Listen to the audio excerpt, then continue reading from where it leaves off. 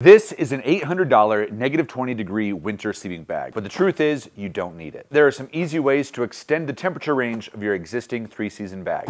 this is your standard three season sleeping bag rated to 15 degrees. Not gonna cut it if you're backpacking in the winter, but you can make this a lot warmer. This is a four season sleeping mattress. What most people don't know is that what's between you and the ground is almost more important than the sleeping bag that you're in. It is really hard to stay warm, even in that negative 20 degree sleeping bag, if I have an insufficient sleeping mat. A sleeping bag liner might be the easiest and cheapest way to add 5 to 10 degrees of warmth to your sleeping bag system. Another great thing to use is a quilt. A lot of people already have quilts in their arsenal and they're handy on their own. By combining a quilt on top of your existing sleeping bag, it creates an additional cocoon of warmth. If you're going to be guiding or spending a significant amount of time in the backcountry in the winter, then that's when I really recommend getting a high quality winter sleeping bag. However, for the rest of you, use these hacks and make the most of your winter camping adventure.